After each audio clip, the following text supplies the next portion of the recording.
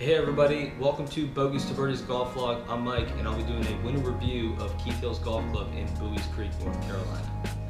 This course is the home course for Campbell University's PGA program. It also has three nine-hole courses, so it makes for a fun rotation. As far as price goes, it's usually between 40 to $60 during peak season, and you can traditionally find a $20 hot deal on golf now. They have a uh, great range, only $5 for a large bucket of balls, they have uh, five or six greens out on the range that are maintained greens that you can actually hit at. They also have a great uh, pitching and chipping area with sand trap.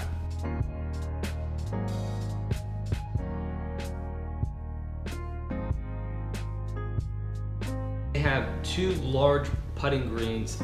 They're never too busy that you can't find somewhere to putt, so that is great.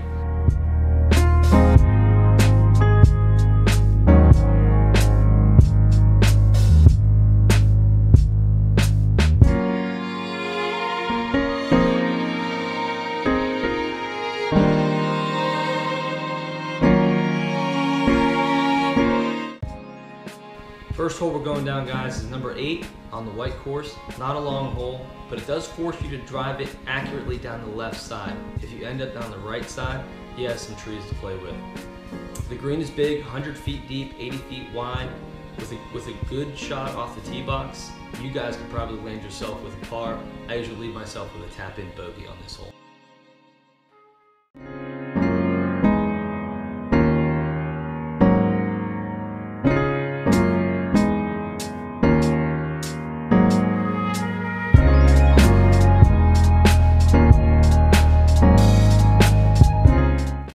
Hole, going backwards two holes, is number six on the white course.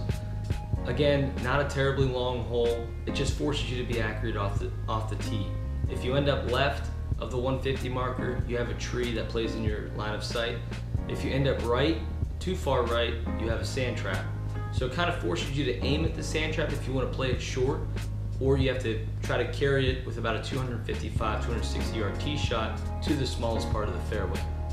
The green, probably, probably the most challenging green on the course. It's a bigger green and it flows from the back all the way down to the front.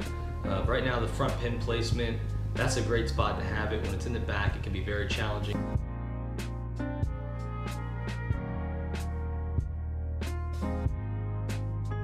The last hole on the white course to show you is hole number nine. It's the par five. Again, the, the white course is shorter, so this is only 500 yards from the back tees, 466 from the white. So not a long par five, but it does come with a lot of challenges around the green. You can usually get there in two.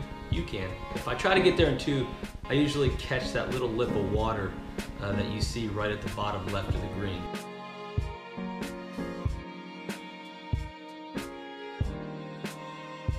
Getting to the orange course, hole number one on the orange course is again another stellar looking hole off the tee box. You have an elevated tee box down to a nice fairway uh, with the trees that kind of line the fairway and make it a good opening.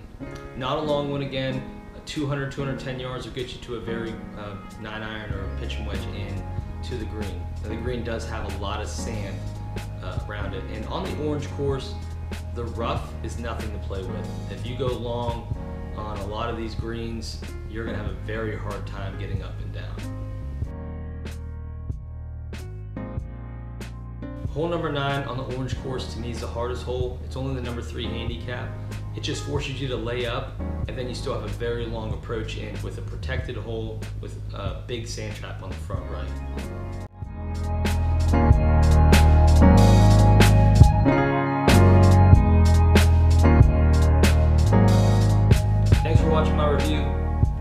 Details for more information about Keith Hills, and I'll see you on the next course review.